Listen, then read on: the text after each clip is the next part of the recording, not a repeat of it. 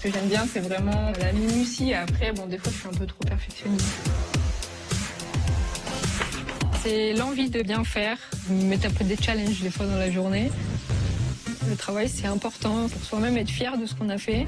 Retrouvez Manon dans Sans filtre, la série qui vous embarque aux côtés des professionnels de la construction. La construction, c'est plus de 30 métiers. Découvrez-les sur laconstruction.fr.